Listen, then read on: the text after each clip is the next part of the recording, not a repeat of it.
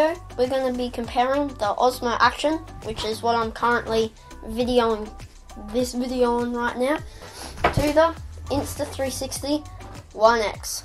Okay, so the low light performances between these two are pretty good. Obviously, the Osmo Action has better low light because of the resolution, which is 4K, compared to the 1080p when it, this is cropped to normal looking footage like the Osmo.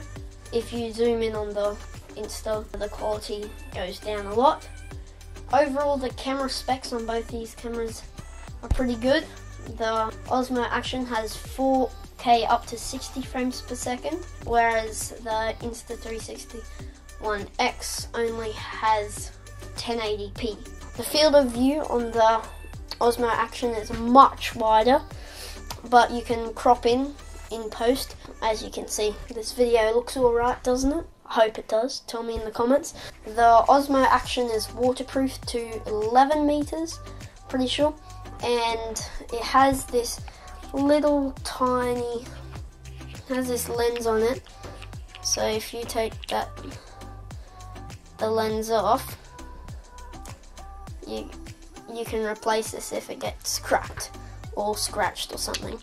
And you can buy screen protectors and stuff for every side of all the screens. Whereas the Insta, these two lenses right here, they get scratched very easily if you just bump it down and stuff. Like there's a dot on footage. If you look at it closely, you can see it on this footage. So the durability is much better on the Osmo compared to the Insta. Reframing. Now, I know that the Insta 360 is great for reframing, but I don't like it. I hate it because you have to go in, crop. I just pressed a button. Uh, you have to go in post and you have to choose the right angle, and that takes forever. And because it's actually 5.7K cropped to 1080p. The file size of this camera is huge and it uses up a lot of space. Because of the 4K capabilities and the Osmo Action, you can actually crop in and the footage looks good. The Osmo Action has many features.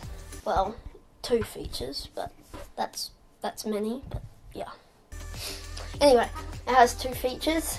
It has slow-mo and time-lapse.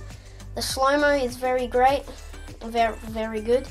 It can go up to eight times, which is, I don't know, I don't know how many frames per second, but a lot. And time-lapse, you have intervals two up to, I don't know, a lot. So these time lapses I've shot in previous videos and they're pretty good. The Insta has this mode called bullet time and it's where you spin the camera around and gets this slow-mo kind of weird shot but it has slow-mo and hyperlapse and those kinds of things too.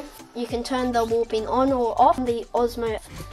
I found out when you're in hyperlapses and slow-mo or time lapses and slow-mo it just looks really warped on the edges. The Insta you can just crop in and it's it still looks really weird if you're not used to the 360 view because it's it's this round ball portability. Um, yeah you can tell. They're both small and portable. I'd say the Osmo is a lot more portable because you can just like toss it anywhere. Whereas the Insta if you have this and you toss it anywhere you're gonna break it. And the Osmo costs less too so better the battery life on these, from my testing, the Insta360 lasts less than the Osmo, so overall, I'd say that if you want to get an action camera, you'd get the Osmo Action.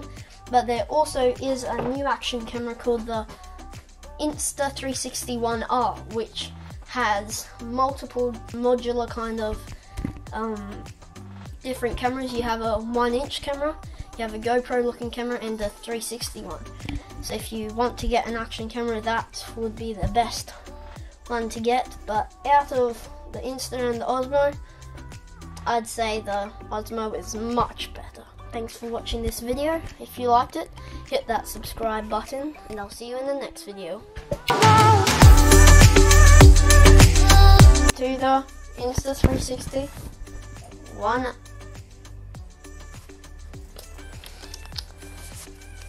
In today's video, we're going to be comparing. Oh, thanks. Are you done? Nico, I just started and then you walked right in. That's not funny. Can you go?